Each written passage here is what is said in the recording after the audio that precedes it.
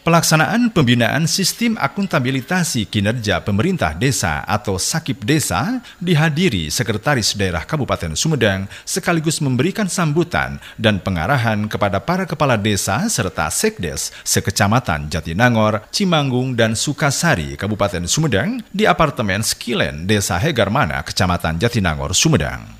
Sekda Sumedang Herman Suryatman mengatakan secara yuridis diamanatkan dalam Undang-Undang Desa, yaitu azas pemerintahan desa adalah azas akuntabilitas, artinya pengelolaan desa harus akuntabel, berbasis kinerja orientasi pada hasil. Lebih lanjut, Sekda menegaskan ada PR besar yang sangat krusial, yaitu bagaimana bisa menurunkan angka kemiskinan, stunting, dan meningkatkan kualitas pelayanan publik dan sakip desa adalah alat untuk menurunkan semua itu, di mana dalam sakip desa ada lima dasar, yaitu perencanaan kerja. Jadi apa yang dilakukan desa harus jelas, yaitu eces turgentre. Alhamdulillah hari ini kami bersama para kepala desa, sekretaris desa di Kecamatan Jatinangor dan Kecamatan Cimanggung serta Sukasari melaksanakan pembinaan sistem akuntabilitas kinerja pemerintah desa atau sakit desa. Sakit desa ini penting kenapa? Secara yuridis diamanatkan dalam undang-undang desa bahwa salah satu asas penyelenggaraan pemerintahan desa adalah asas akuntabilitas.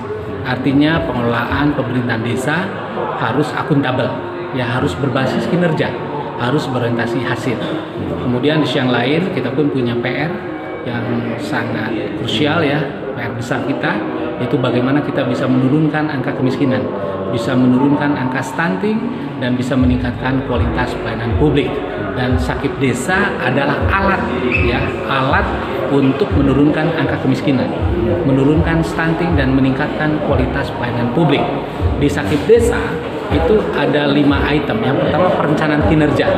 Jadi apa yang akan dilakukan di desa harus jelas, harus eces turgentre perencanaannya dan itu ada di RPJM desa, ada di RKP desa, ada di perjanjian kinerja antara desa dan kecamatan atau antara kepala desa dan camat. Kemudian ada juga yang namanya breakdown secara anggaran ada di APBDes. Itu perencanaan kinerja. Kemudian berikutnya kami mendorong desa-desa melakukan pengukuran kinerja, membandingkan antara relasi dengan perencanaan antara kenyataan dengan perencanaan. Saya kira ini penting, itu namanya pengukuran kinerja, membandingkan realisasi dengan perencanaan. Kemudian berikutnya adalah pelaporan kinerja. Apa yang direncanakan, apa yang dilaksanakan, kemudian diperbandingkan, dan tentunya berikutnya dilaporkan. Pelaporan kinerja. Berikutnya adalah evaluasi kinerja Ya, apa yang sudah dilakukan ini diidentifikasi lebihnya apa, kurangnya apa, yang lebihnya tentu harus dijaga, ditingkatkan, yang kurangnya harus diperbaiki. Itu namanya evaluasi kinerja.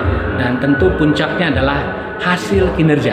Hasil kinerja ini ditandai dengan harus turunnya angka kemiskinan, harus turunnya stunting dan meningkatnya pelayanan publik. Insya Allah dengan sistem akuntabilitas ya kinerja pemerintah desa, desa-desa yang ada di tiga kecamatan ini secara bertahap ya step by step akan e, meningkat akuntabilitasnya dan tentu akan meningkat tingkat kesejahteraan warga masyarakatnya karena ending dari pemerintahan adalah meningkatnya kesejahteraan masyarakat dan tiga indikator tadi adalah e, bagian di antaranya saya kira demikian dan sakit desa akan sukses kalau semua komponen bahu membahu baik dari kabupaten, kecamatan maupun e, desa. Insya Allah ini adalah bagian dari ikhtiar pemerintah Kabupaten Sumedang untuk meningkatkan kesejahteraan masyarakat melalui peningkatan akuntabilitas kinerja pemerintah desa. Desa kuat, kecamatan kuat, kabupaten akan kuat, dan republik ini pun insya Allah akan kuat. Jadi kita harus mulai dari desa. Demikian Abinang Ferry dan Iwan Ingkig melaporkan.